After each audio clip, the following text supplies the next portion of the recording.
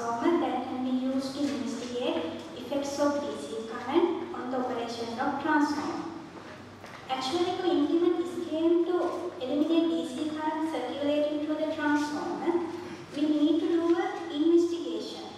Then we can identify what is the effect on the transformer by DC current. Actually,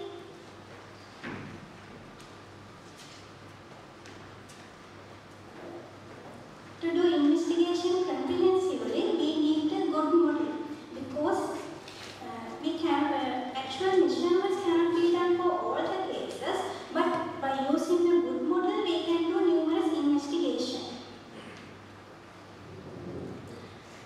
Example measurement. Before going to, uh, first of all, we wanted to verify the DC current present in the transformer secondary. Therefore, we conducted uh, example measurement test. Sample system was Arthur C Clarke Institute of Modern Technology. Transformer ratings are 400 kVA, 11 kV, 400 volt, 50 Hz three-phase transformer. This table shows that power and energy data obtained from the uh, test test was done uh, in the working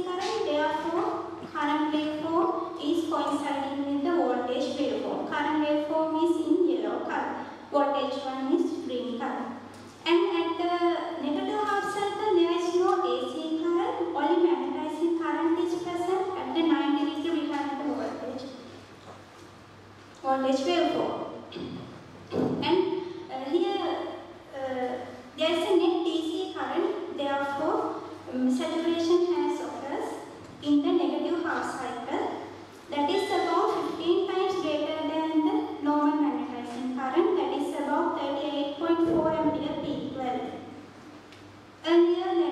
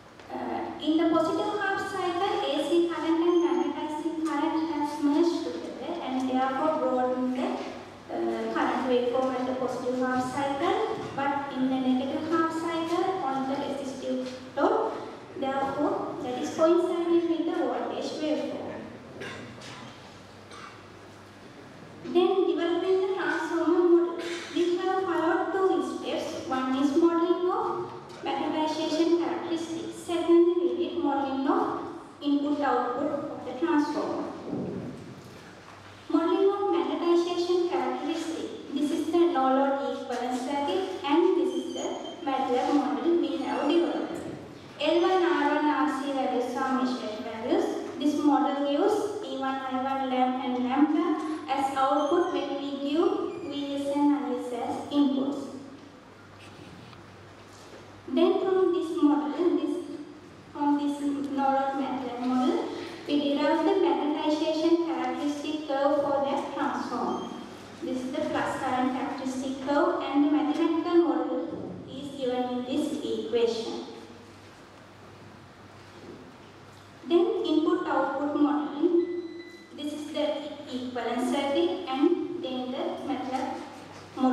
Input output.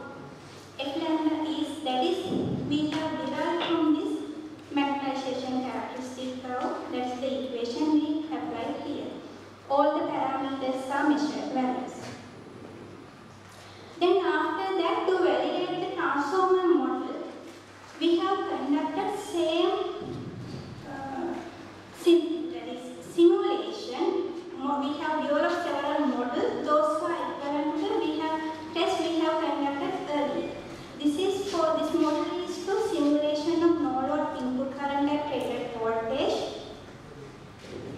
And then uh, simulation results from this model and practical result we obtained earlier in the test one.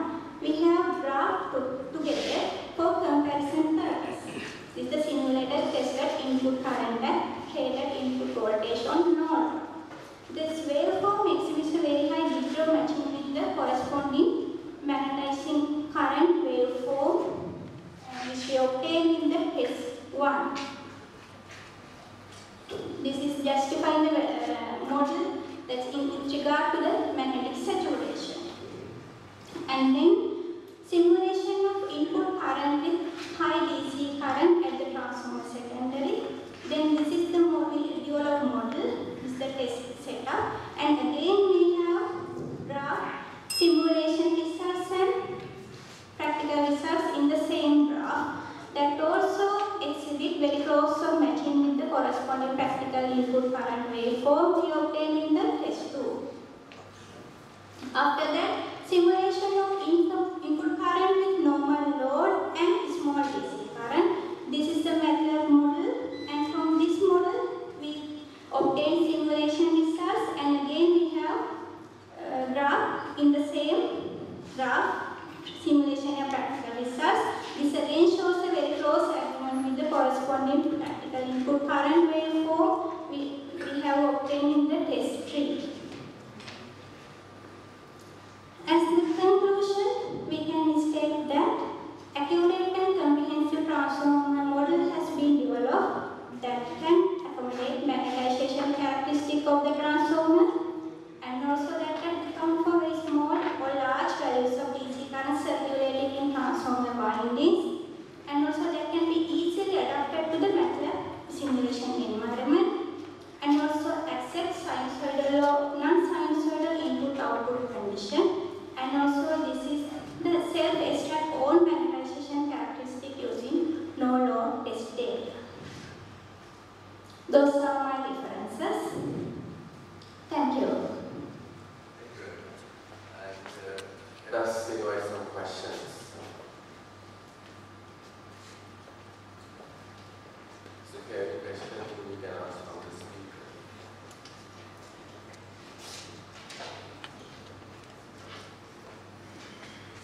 Good morning. Uh, my question for you is now you have determined the, the polynomial equation for the current F lambda Yes. and uh, for that you have taken lambda the flux values. Yes. In a in a Yes. yeah Plus in a yes uh, in a in a conventional distribution transformer how are we measuring the flux values like it's not a testing environment if it is a co- like an already installed transformer how do we measure the values?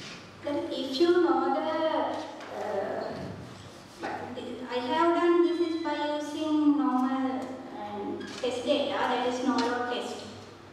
If you can do no load test by, or if you know the values that is obtained, uh, parameters if you know, you can get for that transformer.